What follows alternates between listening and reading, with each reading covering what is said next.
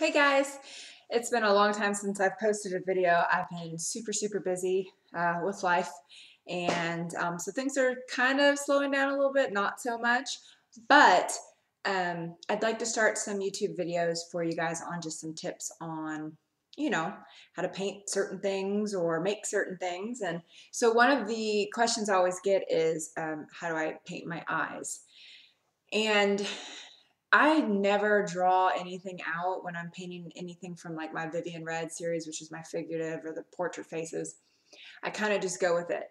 But there's a little secret to the eyes. So I'll kind of show you this picture here. So this is one of my Vivians. Um, and you can see that if you look at the eyes, they're not completely perfect and defined.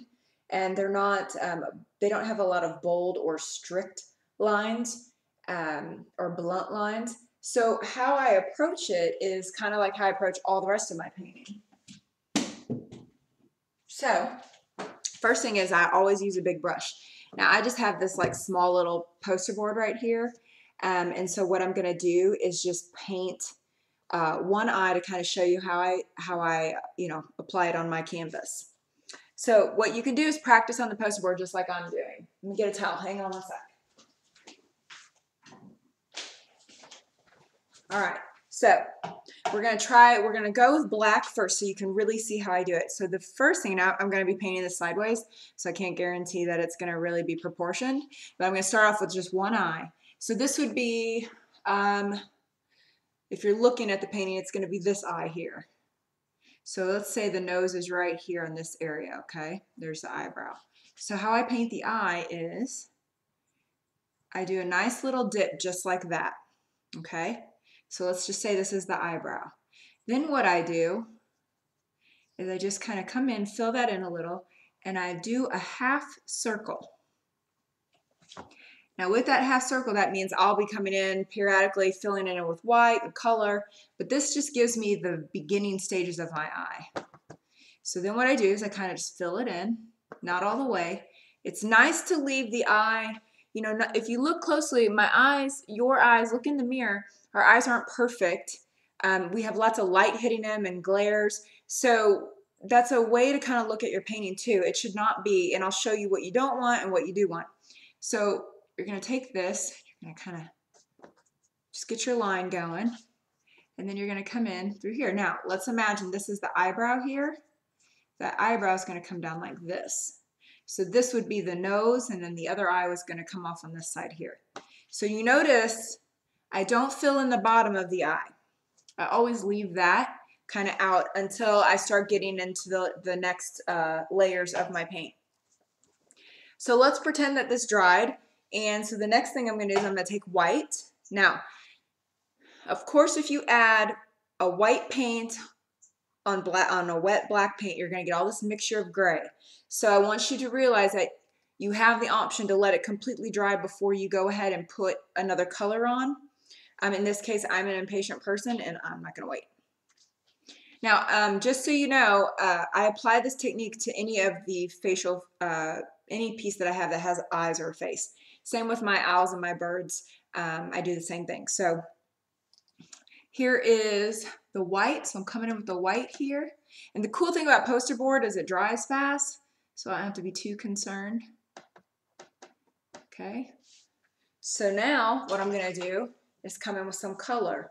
Um, let's say we want to make her have green eyes.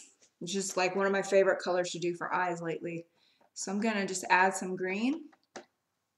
Okay. And all I'm doing is giving it some color.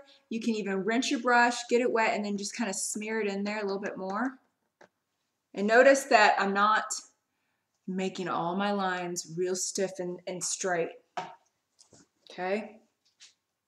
Now, I'm going to come back in with my black, and all I'm going to do is, you know, just kind of highlight the area I did, maybe come back in and define this pupil a little bit more, or this iris, I guess.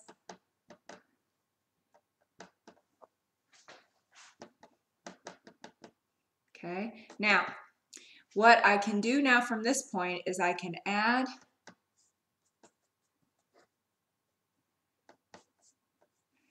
a bottom if I want. maybe she's got some eyelashes coming out here. And I can bring my eyebrow down and I can kind of shade in through here. It's kind of hard to smear on poster board because it dries so quickly. Okay.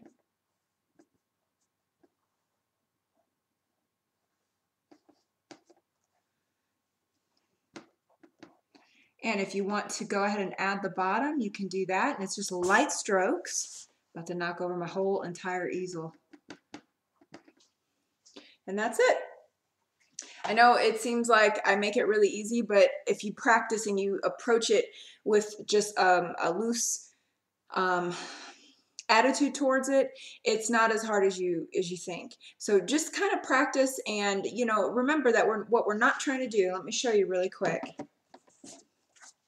What we're not trying to do is this.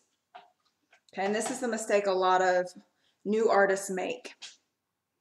Okay, we're not trying to do this, and then we're going to do this, and then we're going to do this. Okay, we're not drawing it in, and then we're going to, this isn't a coloring book. All right, so we're not making it perfect like that. That's not how an eye is supposed to look. So approach it, you know, the way I just showed you. What you want to do, start with your top um, top part of your eye. Now, depending on your person, first start off with something simple, but depending on the person that you're painting, if it's uh, somebody of a, you know, a different race, uh, it could be an Asian, it could be Hispanic, their eye shapes are different than what my eye shape would be. So everybody has a different, um, well, a different shape of their eyes. Some people have rounder eyes. Some people have um, thinner eyes with more lid.